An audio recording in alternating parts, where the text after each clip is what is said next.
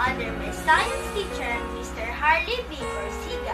My home-based collaboration major project is a Senchakula entitled Using Thermometer.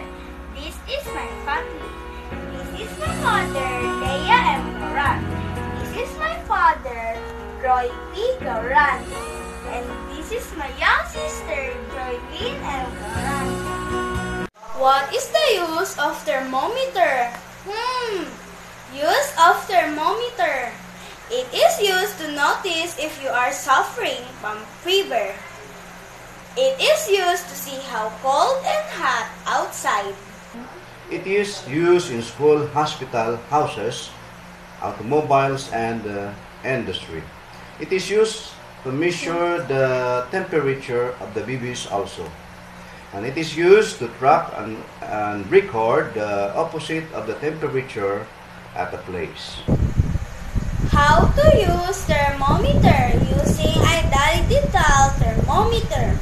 Number 1. Clean the tip with a cold water and soap. Then rinse it. Number 2. Turn the thermometer on. Number three, put it on your underarms.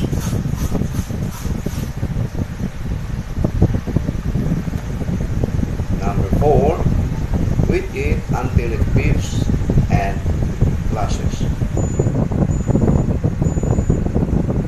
Check the temperature on a display. It's trivia time! For the very first time in 1593, Galileo Galilei invented the rudimentary water thermometer that was able to monitor temperature fluctuations. Then in 1714, a German physician, physicist, and astronomer Daniel Gabriel Fahrenheit invented the first mercury thermometer, also known as modern and practical thermometer.